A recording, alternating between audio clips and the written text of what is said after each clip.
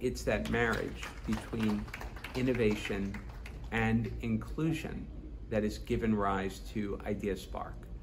IdeaSpark is an innovative partnership between the Viscardi Center and the Hynes Institute for Entrepreneurship and Innovation.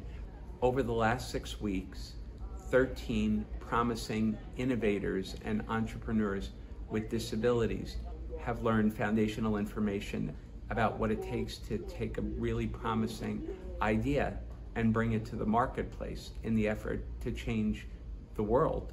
We are not just any handyman and technical company.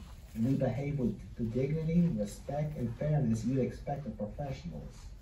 I learned something from every single experience. I learned something every single day that I was there. The people were great. It was good to find out that there were people who were like-minded, as I was, who accepted my entrepreneurial spirit because it's seeing a problem and thinking, wow, instead of saying it's someone else's problem, it says, how can I solve this problem?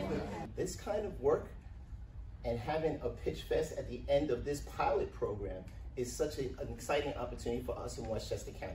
So I feel like they all offer different things, and it was it was fun to be able to, I guess, immerse myself in each of their ideas and help them out. This program is quite simply amazing. Um, the, the people that are presenting today have varied passions, they have varied abilities, they have varied challenges. Um, none of those challenges have stopped them. Um, they are inspiring to all of us to, to take what you know and to build upon it and to not give up along the way.